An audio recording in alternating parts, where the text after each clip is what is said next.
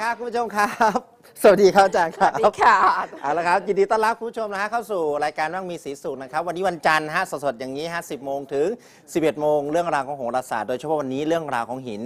เราอยู่กับเจ้าแม่หินอันดับหนึ่งของเมืองไทยคุณผู้ชมนะนะครับช่องทางการรับชมของเราไม่ว่าจะเป็นจาน PSI Big 4ช่อง 123 รวมถึง GMMZ ของแกมมี่ช่อง 58 นะครับ รวมถึงเคเบิลท้องถิ่นทั่วประเทศ ฝากกดไลค์ติดตามที่ไทย CCTV นั่นเองนะครับ วันนี้ มีหลากหลายเรื่องราวของหินตามธาตุดินน้ำลมไฟจะเป็นอย่างไรเจะไม่หินพร้อมแล้วค่ะอาจารย์หญิงจุธามาศณสงขลาสวัสดีครับอาจารย์ครับ สวัสดีอีกทีค่ะรับ นะคะ โอ้ย ทีนี้ต้องบอกก่อนครับว่าปกติแล้วอาจารย์ก็เคยมาพูดเนาะเรื่องหิคนรับดินน้ำลมไฟอะนะคะ แต่วันนี้มันมีธาตุเยอะกว่านั้นอ่านนะคะ ครับผมเพราะว่าเราต้องอธิบายกันว่า มนุษย์เนี่ยมีอ่ามีมีประกอบด้วยธาตุดินน้ำลมไฟอะเห็นนะคะภาพที่จะประกอบกันเป็นร่างกายของมนุษย์ได้ ครับหินก็กำเนิดด้วยธาตุดินน้ำลมไฟเหมือนกันนะคะ ครับผมแต่ในการใช้ชีวิตประจำวันของเราเนี่ยค่ะเอ่อในทางห่วงจุ้ยก็ดีนะคะเขาก็จะมีอาจจะมีธาตุธาตุไม้ อาจจะมีอืมธาตุทองขึ้นมาอ่าครับอะไรแบบเนี้ยนะคะ อือฮึแล้วก็มันก็จะเป็นธาตุที่จะต้องปรับให้สมดุล ครับ เวลาเราใช้ชีวิตอยู่ในชีวิตประจำวันของเราทั้งหลายนะคะ การปรับธาตุให้สมดุลนั้นน่ะครับมันก็จะช่วยให้ชีวิตเราดีขึ้นสมดุลขึ้นนะคะ ครับถ้าเป็นเรื่องของการเจ็บป่วย ครับถ้าขาดธาตุใดธาตุหนึ่งไปเราก็จะเจ็บป่วยนะคะ ครับ เคยมีคนชอบถามว่าหนูเป็นคนธาตุอะไรโอ้ใช่ไหมอาจารย์ใช่นะคะใช่เป็นเรื่องจแบบริงคนๆจะบอกถามเยอะว่า คุณเป็นคนทุกธาตุอะค่ะอืมนะคะ คุณจะต้องมีธาตุดินน้ำลมไฟอคยู่รับในตัวเอง เพียงแต่ว่าเรามีธาตุไหนมากกว่ากัน อืมเท่านั้นเองโอเคในชีวิตเราเนาะเราอาจจะเป็นคน เอ่อมีธาตุน้ำเยอะอ่านะคะ เราก็จะเป็นคนอวบอ้วนหน่อย อ่าสมบูรณ์หน่อยด้วยครับน้ำมีน้ำในร่างกายเยอะนะคะ ครับเราอาจจะเป็นคนธาตุไฟ ครับร่างกายของเราก็เลยจะเป็นคนเออผอมนะคะ เพราะว่าธาตุไฟเนี่ยไฟเนี่ยมันก็เผาผลาญอะทุกอย่างเนาะเห็นภาพเลยมันก็จะเผาผลาญอาหารได้ดีขึ้นครับนะคะทำให้เราผอมแล้วก็ทำให้เราเนี่ยปราดเปรียวใช่ไหมและก็ อาจจะเป็นคนใจร้อน อืม เจ้าอารมณ์อืมอะไรเหล่านี้เนาะเพราะมีธาตุไฟอครัยู่บเยอะนะคะ แต่ทำอะไรเร็วๆด่วนๆพูดเร็วกินเร็วเดินอือฮึ เร็ว พวกนี้เป็นธาตุไฟครันะบคะ ผมในขณะเดียวกันถ้าเราเป็นธาตุลม พัดลม ลมก็เร็วเหมือนกันเนาะอ่าลมลมเพลลมพัดอะไรครับ ทั้งหลายใช่ไหมคะแต่คนเป็นธาตุลมจะเห็นได้ด้วยอารมณ์จิตใจว่าอ๋อ เออ เดี๋ยวเหมือนลมพัดนะคะครับไปเดี๋ยวมาเดี๋ยวไปเดี๋ยวปิ๊บอ่าปั๊ดมันก็เลยจะกลายครับเป็นคนเดี๋ยวดีเดี๋ยวร้ายอืมนะดีก็ดีดีดีครับดีอยู่อยู่ขึ้นมาอารมณ์พลิกซะเฉยๆอย่างเงี้ยนะคะ อ่า เป็นพวกนี้จะเป็นธาตุลมนะครัคะบรูปร่างลักษณะก็จะเป็นคนค่อนข้างผอมบางเหมือนกันผอมบางเนาะเหมือนจะปลิวลมอะไรอย่างเงี้ยอ่าที่เขาโอเค ว่ากันเนี่ยนะคะปาดเปรี้ยวนะ อ่านะคคะรับเพียงแต่ว่าอาจจะทำอะไรไม่เร็วแล้วก็อืม ไม่ใจร้อนเท่าคนธาตุไฟเท่านั้นคเอรังบผมนะคะ ส่วนคนธาตุดินล่ะทัดดิน คนธาตุดินจะเป็นคนที่หนักแน่นอืมนะคะ แต่ถ้าดินเยอะมากเกินไปอ่าฮะก็จะอืดเฉื่อยหน่อยเออเนอะนะคะ หนักแน่นครับมั่นคงครับอยู่กับที่อืมนะอยู่กับที่ก็จะกลายเป็นคนขาดความกระตือรือร้นไปหน่อยก็ได้ครับนะคะ ตัวจะบึกบึนหน่อยอืมเนาะคนธาตุดินเนี่ยนะคะอืมแล้วก็ อาจจะรู้สึกว่าตัวเองไม่อยากจะเปลี่ยนแปลงอะไรอืมพวกนี้ก็จะทำงานประจอะโอเคำนะนึกเห็นทำงานภาพประเลยจำรูทีน อ่าเช้าตอกบัตรเย็นกลับบ้านอยู่อ่าเงี้ยนะไม่อยากจะอะไรสุ่มเสี่ยงมากนักก็จะเป็นครับคนธาตุดินไปนะคะอืมเพราะฉะนั้นเนี่ยแน่นอนถ้ามันเยอะเกินไป มันก็จะเสียในเรื่องใดเรื่องหนึ่งไป มันครัจำบเป็นจะต้องมีธาตุอื่น ๆ มาเติมในร่างชัดเจน กายเรานะคะ ดังนั้นจะมาแนะนำว่า อ่าฮะ หินอะไรที่จะสามารถ เติมเราได้หินแต่ละธาตุแต่ละหินก็จะมีธาตุไม่เหมือนกันเช่นเดียวกันนะคะครับผม ทีนี้อาจารย์จะแนะนำครบเลยแล้วกันอะว่า ดินน้ำลมไฟ อ่าฮะ ไม้ทองอะไรอย่างนี้นะคะครับผนะม เริ่มกันที่เอ่อธาตุดินก่อนแล้วกัครันบธาตุดินเนี่ยนะคะ จริง ๆ หินเนี่ยมันจะมีชื่อของเขาโดยเฉพาะเหมือนกันนะคะครับผมธาตุดินเนี่ยประกอบไปด้วยหินเอ่อสีเทา สีดำหรือว่าอือฮึสีน้ำตาลได้นะคะครับ ธาตุดินก็ได้แก่อย่างเช่น earth โอปออะโอเคคุณผู้ชมนะคะ อะมา earth ครับ earth แปลว่าดินขออประยู่วัติแล้วนิดนึงนะคะ อะ earth เพราะฉะนั้นโอเคเนี่ยนะคะ earth โอปอจะเป็นหินธาตุดินครับ อือฮึ หรือว่าหินสีเทาๆอย่างโอ้ smoky quartz ก็ได้อะนะคะอย่างครับ อย่างอันนี้ ครับอาจารย์ อย่างอันเนี้ย pietersite อ๋อจะออกอะเทานี่ฮะคุณผู้ชมกลุ่มอะไรอย่างเงี้ยเทาๆนะนะคะอย่างที่อาจารย์บอกนะๆกลุ่มหินเทาๆ แล้วก็ผม tiger eye tiger eye ครับอายนี่ตัวสีเหลืองเนี่ยนะคะตัวเนี้ลืยองน้ำตาลเนี่ยนะคะ ก็ครับจะเป็นตระกูลธาตุดินเหมือนกันครับผม นะคะ พวกเนี้ยค่ะ จะมีคุณสมบัติอืมทำให้เราหนักแน่นขึ้นครับถ้าเราเป็นคนธาตุไฟเราก็อืมจะต้องใส่หินธาตุดิน ให้อ๋อมีความหนักแน่นมากยิ่งขึ้นครับเนาะผมมันจะได้ไม่ปรูดปราดมากนักนะคะ อ่าฮะ มันเวลาเราจะทำอะไรอาจจะไม่ใจร้อนใจเร็วมาผ่านผ่านขบวนการคิดอืมเยอะหน่อยนิ่งลงไปครับอะไรอย่างเงี้ยผม นะคะอะต่อมาธาตุน้ำธาตุน้ำครัธาบ ตุน้ำนะคะธาตุน้ำนี่เลยธาตุต้องน้ำกลุ่มไหนต้องหยิบครับอาจารย์ อันนี้ให้ดูแล้วล่ะอ่านะครับนะเดี๋ยวคะ ค่อยไปไล่เรื่องหินเนาะอะค่ะ ครับคือผมหินธาตุน้ำกหิลุ่นมธาตุน้ำส่วนใหญ่จะเป็นสีขาวสีครีมนะคะ อ๋อยกเว้นโทน มันจะมีมันจะมีสวย อย่างเช่น สีฟ้า aquamarine อ่าอ่า aquamarine เนี่ยมันแปลว่าน้ำอยู่แล้วอ่านะคะชัดเจนครับอันนั้นจะเป็นหินธาตุน้ำอ่าฮะแล้วก็สวยสีขาวสีครีมนะคะ ครับผมสีขาวก็ได้แก่ crystal quartz ก็ได้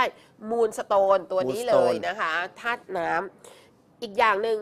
โอปอโอปอพวกกำเนิดกลุ่มในโอปอ น้ำนะคะ แล้วก็อย่างเช่นไข่มุก อ๋อนะไอ้กลุ่มไข่มุกที่อยู่ในน้ำเหมือนเนาะอาจารย์กลุ่มเนาะที่อยู่ในอ่าน้ำจะเป็นหินครับผม ธาตุน้ำอยู่พวกแล้วไข่มุกต่างๆนะคะครับอะ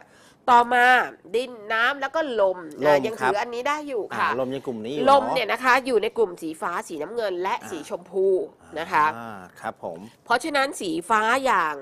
เอ่อที่ไม่ใช่ aquamarine นะคะ สีฟ้าอย่าง turquoise อ่า turquoise สีฟ้าอย่างเอ่อ เพทายสีฟ้าอะไรอย่างเงี้ยอืมนะคะ แล้วก็สีน้ำเงินอย่าง lapis lazuli อ่าก็ใช่นี่นะคะนี่นี่อะ sodalite ก็ใช่ lapis อะไรแบบเนี้ยนี่นะคะเป็นแหวนเนี่ยฮะอ่าอ่านะคะครับผม และสีชมพูอย่างพวกโรส Rose ควอ quartz ตใช่ไหมนะอาคะจารย์อ่าเหตุครับผลผมเนี่ยโรสควอตอย่างเงี้ยนะคะอ่า Rose quartz ตรงนี้เหตุผลก็คือว่าอย่างนี้อย่างอย่างสีชมพูทำไมครับผม ถึงจะเป็นธาตุลม อ่าอ่าเนี่ย คนเราอะเวลอารมณ์จิตใจอะค่ะ ครับ มันมันบอกไม่ถูกว่าว่ามันจะ อยู่เป็นยังนิ่งไงอยู่กับอ่าร่องกับรอยไหมอะไรอย่างเงี้ยนะคะ โดยครับเฉพาะเรื่องของความรักใช่ไหมอืมเพราะฉะนั้นมันก็เลยจะกลายเป็นพวกธาตุลมไป ครับ เดี๋ยวอารมณ์เป็นอย่างนั้นเดี๋ยวอารมณ์เป็นอืมอย่างนี้ลมเพลลมพัดไปครับ อะไรแบบเนี้ยนะคะอ่าชัดเจนนะคะความรักความชอบทั้งหลายเนี่ยขึ้นอ่าอยู่กับธาตุลมนะคะครับ ต่อมาต่อไป ธาตุไฟ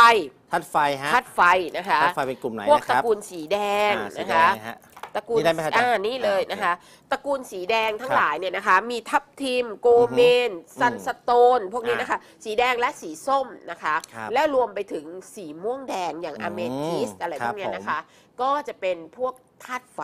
นะคะอืม เอ่อธาตุไฟอย่างนี้ค่ะ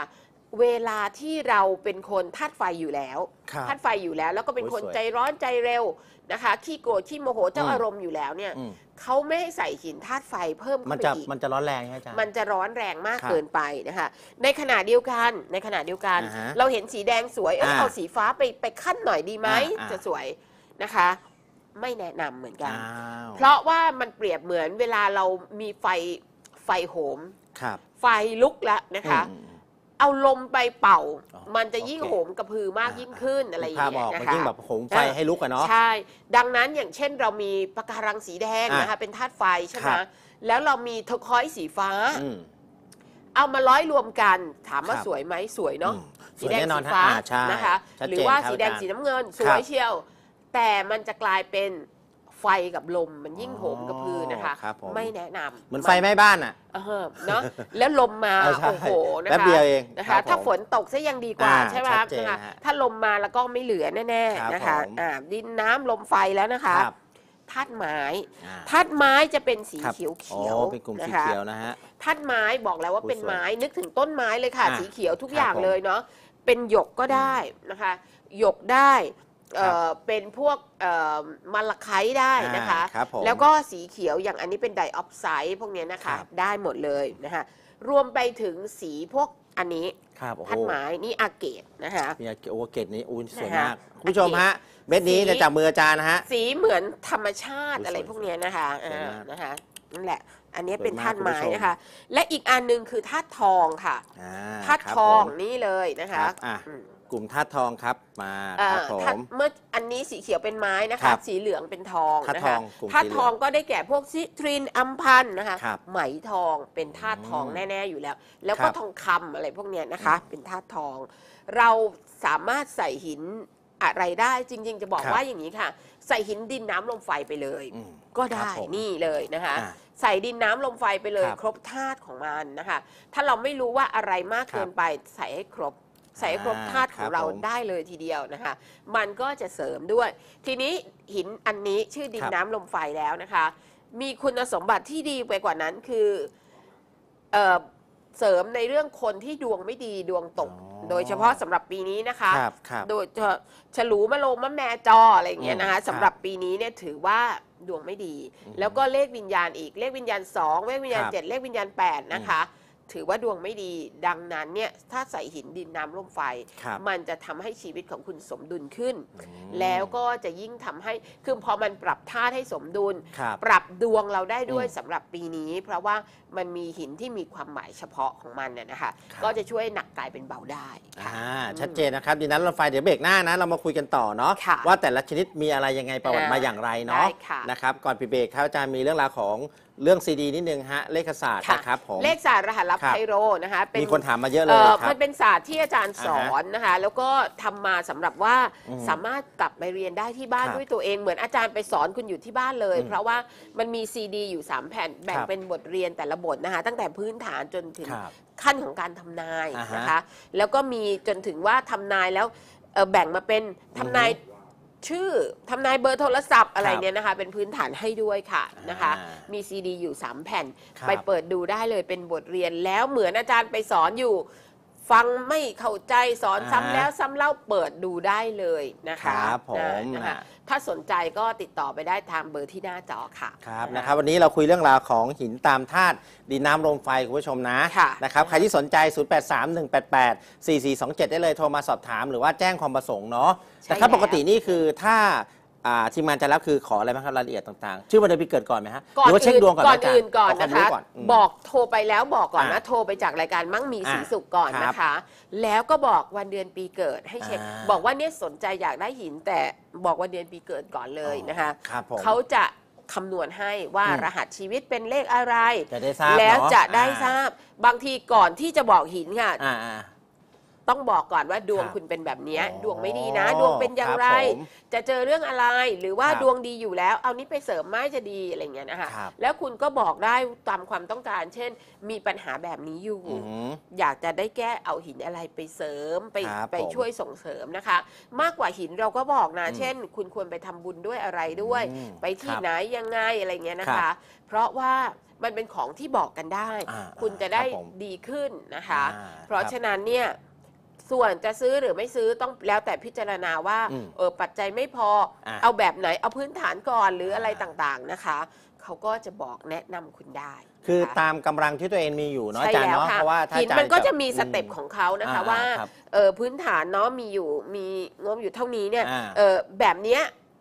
ดีแล้วครับ ดีพอประมาณน่ะนะคะอืมที่จะสามารถช่วยได้ ครับส่วนพอเราช่วยเหลือแล้วดีขึ้นแล้วอือฮึเราใส่แล้วพลังก็ช่วยเหลือเราได้แล้ครัวบ เราได้อะไรดีๆแล้ว อืม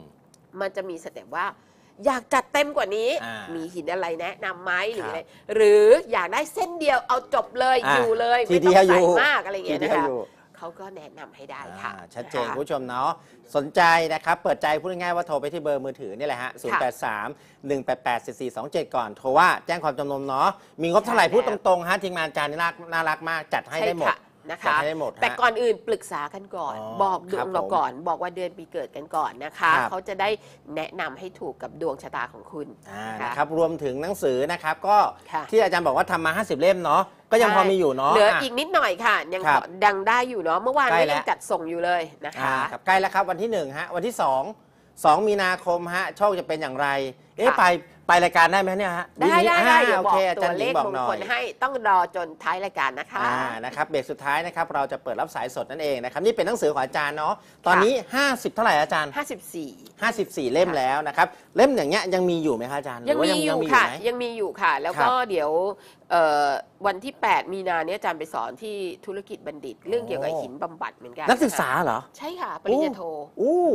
ทำไมเดี๋ยวนี้โอ้ยสังเกตอาจารย์ไปมหาลัยบ่อยทำไมเดี๋ยวนี้เขาถึงมาสนใจเรื่องเขาพวกเริ่มนี้ฮะสนอาจารย์ ใจในเรื่อง wellness เรื่องเกี่ยวกับเรื่องของการบำบัดทางเลือกอะไรแบบนี้เกิดขึ้นนะครัคะ บคุณผู้ชมนะอะเดี๋ยวเบรกหน้านะครับ นี่เลยฮะ หินเส้นนี้มีชนิดไหนบ้าง ใช่ประวัติความมาเป็นอย่างไร และค่ะ ราคาโปรโมชั่นพิเศษ ต้องติดตามและโทรไปที่เบอร์มือถือครับ เดี๋ยวช่วงนี้เราพักเบรกกันสักครู่เดียวครับ